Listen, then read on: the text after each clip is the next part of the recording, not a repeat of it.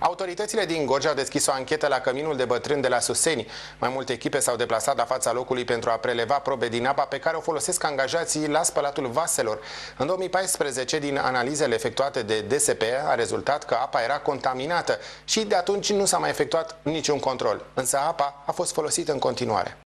În anul 2014, rezultatele probelor prelevate din apa de la Suseni au fost unele dezastroase, apa fiind contaminată cu bacterii. Căminul are sursă proprie de alimentare cu apă care vine din munți, însă apa de la robinet este în continuare folosită pentru spălatul vaselor. Am încheiat un contract de aprovizionare cu apă de la fântână și beneficiarii folosesc pentru băut apă de la instalația respectivă. Solicitare pentru racordarea la apă s-a făcut și către primăria din Runcu, însă autoritățile locale spun că acest lucru nu este posibil pentru că alte sate ar rămâne fără apă. Au făcut o solicitare ceva timp în urmă la care s-a răspuns că nu putem să branșăm din conducta de 90 diametru de 63, fiind un cap de coloană nu aveam presiune constantă pentru celelalte sate. Dar dumneavoastră în comună există probleme cu apa contaminată? Nu, nu. Și atunci cauza credeți că ar fi de aici? Nu știu sursa dumnealor, de unde, cum e. Direcția de Asistență Socială și Protecția Copilului, instituție în subordinea căreia se află căminul de bătrâni, plătește lunar 800 de lei unei firme care este contractată pentru furnizarea apei potabile. În anul 2014